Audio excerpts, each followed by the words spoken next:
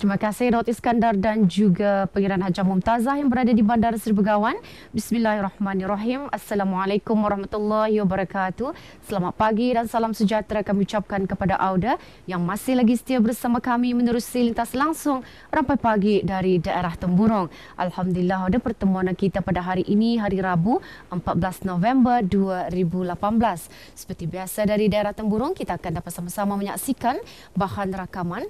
Namun sebelum itu ingin kita kongsikan juga mengenai dengan Majlis Perhimpunan dan Perarakan bagi lelaki sempena dengan sambutan Maulud Nabi Muhammad sallallahu alaihi wasallam yang akan diadakan pada 20 November 2018 bertempat di Padang Kompleks Dewan Kemasyarakatan Pekan Bangar daerah Temburong. Jadi kepada orang ramai terutamanya uh, mereka yang beragama Islam supaya akan dapat ikut serta dalam perhimpunan dan perarakan uh, bagi lelaki yang akan diadakan di Padang Kompleks Dewan Kemasyarakatan Pekan Bangar daerah Temburong.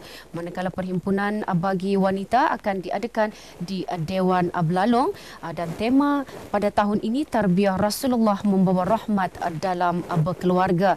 Jadi sama-samalah kita memperbanyakkan selawat ke atas junjungan besar kepada Nabi kita Muhammad sallallahu alaihi wasallam supaya rahmat juga diberikan ya kepada sesiapa sahaja yang berselawat itulah itu juga adalah merupakan satu kehebatan berselawat ke atas junjungan besar kita Nabi Muhammad sallallahu alaihi wasallam. Jadi orang ramai adalah telah dialulukan hadir dalam sama-sama memeriahkan um, majlis yang akan diadakan pada 20 November 2018 itu nanti. Bila ada seperti yang kita janjikan, kita akan dapat sama-sama menyaksikan bahan rakaman untuk keluarannya pada kali ini mengenai dengan tanaman lada padi, pendekatan bersama dengan rakan setugas kita Nahdatul Ayumi. Kita saksikan bahan rakaman ini.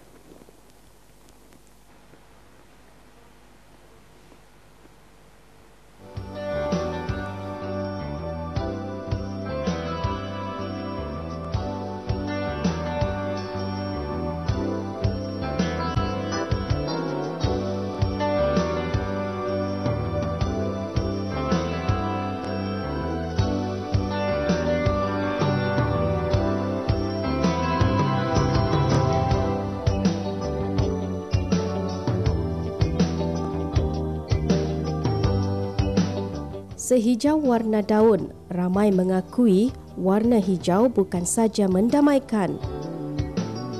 Malah ia mampu mewujudkan ketenangan emosi yang sukar digambarkan tatkala menatap warna itu. Apabila menyentuh mengenai warna hijau, antara yang paling sinonim adalah tumbuhan dan sayur-sayuran hijau. Ramai menyedari menikmati sayur-sayuran segar yang ditanam sendiri sememangnya berbeza kerana ia mendatangkan satu kepuasan yang sukar digambarkan dengan kata-kata. Selain segar dan menjimatkan kos, aktiviti berkebun dengan menggunakan sebaik mungkin ruang yang ada mampu mewujudkan suasana mendamaikan terutama ketika memandang suasana hijau di sekeliling.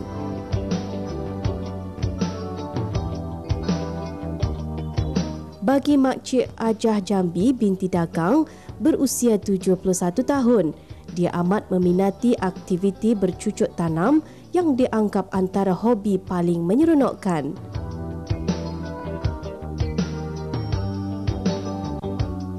Antara yang ditanamnya adalah tanaman lada padi yang berbagai jenis. Baru-baru ini, kami kru Rampai Pagi berkesempatan meninjau kebun milik Hajah Jambi dan keluarganya ini. Anu cara bertanam lada ini disamai dulu. Bukan disamai, uh, sudahnya tinggi, baru dipindah ke tanah, baru ditanam. Tentu uh, sediakan dulu lubangnya anunya uh, bajannya. Itu baru tah di dalam dua tiga hari baru bertanam anu ladanya tuh ada seluas dalam sesuku ikar lah. Oh, lada basar lada padi lada gindunya orang itu macam-macam ada dua tiga macam lah ladanya mula-mula bertanam itu kira se, se anu lah sekak berapa nih kan. Uh, sudahnya bekas bertanam itu dalam sebulan meluahkanlah adat sudah buahnya tu. Uh, sudahnya anu dipatik dalam sudahnya keluar bunga uh, jadi buah dalam sudahnya dalam dua tiga minggu lah tengah bulan kali itu baru ada masak uh, baru diambil. Berminat tani andang minat jualah bertanam tanaman bunga ni. Walaupun macam dekat di rumah tanam angkat lagi di, di kabunan ni ada tanah ni mau jualan kebun banyak-banyak kan. Untuk dijual untuk diri sendiri juga penjagaannya uh, ya seminggu sekali disipre uh, sudah anu kalau udah disipre anu itu uh, itu penyakitnya tuh anu macam gugur uh, daunnya pun gugur kering. Ya di, disiram setiap hari. Pagi sekali patang sekali nyiram jual ada orang mengambil jual ke rumah uh, membooking kalau minta ambilkan kami ambilkan. Itu kami jual jual di pondok itu harga kami kami jual kalau orang berjual kan berjual kami jual sekilo sekilo lima ringgit kami jual kalau di pondok itu harganya seringgit eh, harapan kami masa ni kalau ada kan meluaskan lagi lah kan tanaman ni uh, kebun lada ni lada basar lada anu ni lada padi ni itu ditambah lagi untuk menyamai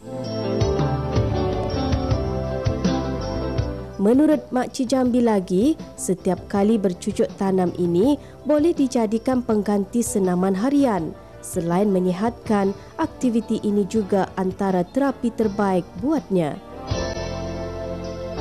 Perkara yang paling menyeronokkan setiap kali pastinya apabila dapat melihat tanaman ini berbuah dengan subur.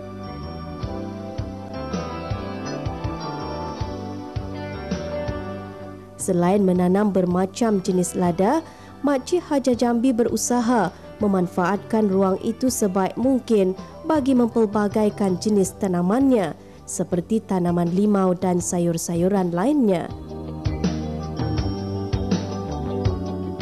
Hanya individu yang meminati hobi ini dapat memahami dan merasai nikmat sebenar hasil daripada bercucuk tanam.